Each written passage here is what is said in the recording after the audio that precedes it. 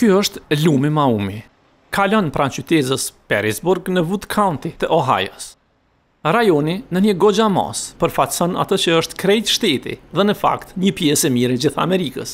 Një zonë suburbane në rritje ku dominon kultura e fermave, që ka rrënjë në vlerat konservative dhe ajo e një ambienti universitar që tërheq të rinjtë votues potencialë të cilët anojnë kah vlerat liberale. Njerëzit këtu janë të interesuar për politikën, shumë, dhe pretendojnë se janë ndër më të saktit në Amerikë kur vjen puna për votimin e presidentit. Kush fitoi këtu, u bë kryetar shteti. Wood County është një farë dashi me këmborë për Ohajon. Ne e kemi zgjedhur fituesin çdo herë, qysh prej vitit 1964, e huqëm vetëm më 1976.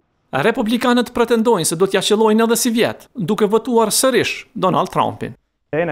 Nuk shoh se po ndryshon diçka, them se ajo votë vetëm sa është shtuar këtë vit. Kështu thonë edhe mbështetësit tjerë të presidentit aktual. Mike DeVore nuk mund ta paramendojë një humbje të Trump. Ai na duhet tashti edhe më shumë se më parë. Ai është Amerika, ai është liria jonë, ai është gjithçka që bën vendin tonë madhështor.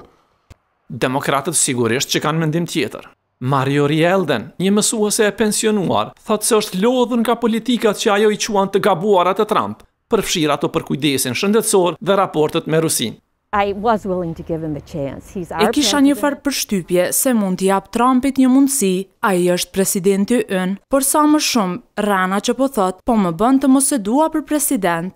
Trump pati fituar lehtë në Ohio, katër vjet më parë. Sivjet, pritet ta ketë më zor.